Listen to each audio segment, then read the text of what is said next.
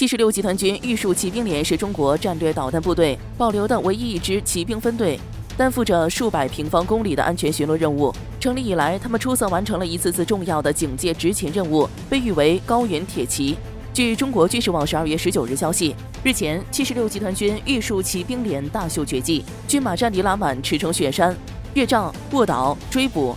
随着骑兵口令，军马驰骋雪地，完成一系列高难动作，包括过火门。高速越过障碍物，遇到敌人雪地卧倒隐蔽等，网友大呼：“真格的，太帅了！骑马的汉子，你威武雄壮。”年底了，我军各军种皆开启了年终考核。近日，东部战区第七十三集团军某合成旅侦察分队展开夜间多科目连贯考核，其中包括一项斩首任务。官兵们深夜出动进行射击演习，胶弹当照明灯用，这样做是为了全面检验射击人员射击技能和心理素质。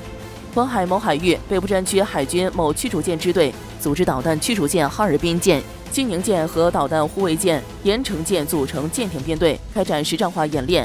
不明海上目标出现，各舰组成射击队形多波次火力打击。